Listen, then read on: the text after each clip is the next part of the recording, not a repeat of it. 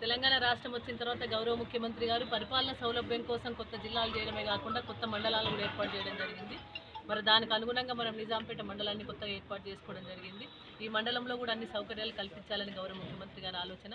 ఇప్పుడు మరి ఎలుకతుర్తి నుండి మెదక్ వరకు రోడ్డు వైడనింగ్ అవుతుంది కాబట్టి నిజాంపేట కూడా ఈ మండలానికి కూడా మొత్తం ఆ, కల్వకుంట వరకు కూడా రోడ్ వైడనింగ్ అయ్యే అవకాశం కూడా ఉంది.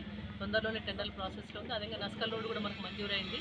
తొందరనే ఆ నస్కల్ రోడ్డు కూడా రెన్యువల్ వచ్చింది కాబట్టి దాన్ని కూడా తొందరగా పూర్తి చేస్తాం. ముఖ్యంగా ఇక్కడ ఈరోజు నర్సింగ్ హోమ్ను స- సిద్ధేశ్వర సాయి సిద్ధేశ్వర అనే నర్సింగ్ హోమ్ను ప్రారంభించడం జరిగింది. ముఖ్యంగా డాక్టర్ అమ్మను నేను అభినందిస్తూ ఉన్నాను. ఇక్కడ నర్సింగ్ హోమ్ పెట్టినందుకు రాజును కూడా నేను మనస్ఫూర్తిగా అభినందిస్తూ ఉన్నాను. ఎందుకంటే కొత్తగా ఏర్పడిన మండలం కాబట్టి రాబోయే కాలంలో తప్పకుండా ఇక్కడ ఒక ప్రైమరీ హెల్త్ సెంటర్ పిహెచ్సి మంజూరు చేయాలని చెప్పి గౌరవ ముఖ్యమంత్రి గారి ఆదేశాలు.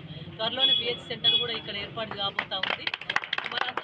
అంతవరకు ట్రీట్మెంట్ కావాలంటే ఇక్కడ ఉన్న పేద ప్రజలకు ట్రీట్మెంట్ అందాలంటే కూడా ఒక నర్సింగ్ హోమ్ అవసరం ఉంది.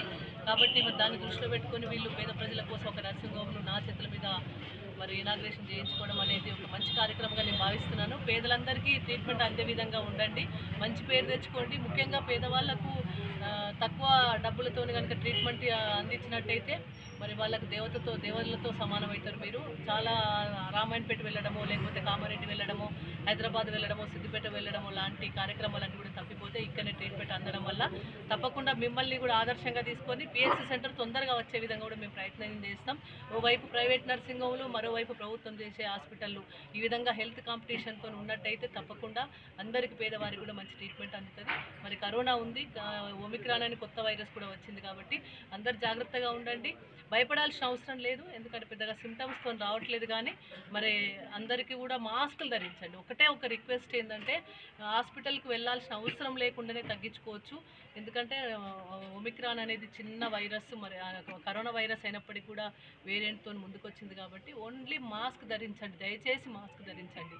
అన్ని అందరిని కూడా రిక్వెస్ట్ చేస్తూ ఉన్నాను. అందరూ కూడా ఉన్న నర్సింగ్ హోమ్ ఫెసిలిటీని కూడా వినియోగించుకోండి. నేను మా డాక్టర్ని ఇక్కడ ఈ ఆ నర్సింగ్ హోమ్ పెట్టిన రాజును మనస్ఫూర్తిగా అభినందిస్తాను. జై తెలంగాణ